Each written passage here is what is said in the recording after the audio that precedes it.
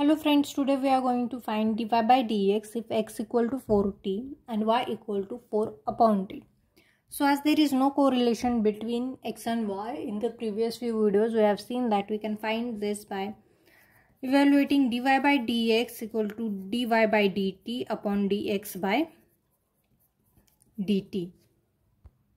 So let's get started with x equal to 4t first by differentiating it with t we get dx by dt is equal to d by dt into 4t and we will have dx by dt equal to 4.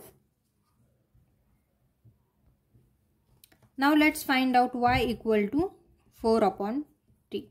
So dy by dt equal to d by dt upon in 4 upon t. So as this is in division, we have to apply the quotient rule and we will get t into d by dt of 4 minus 4 into d by dt of t upon t square.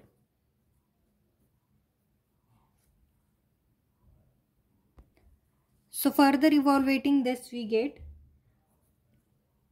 t will be as it is and d by dt of 4 will be 0 minus 4 will be as it is and d by dt of t will be 1 upon t square will remain as it is and these are the value of dy by dt. So dy by dt equal to minus 4 upon t square. Now let's just substitute the value into dy by dx. We have dy by dt upon dx by dt. The value of dy by dt is minus 4 upon t and the value of dx by dt is 4.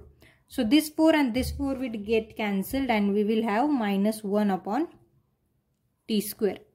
This is our final answer of dy by dx.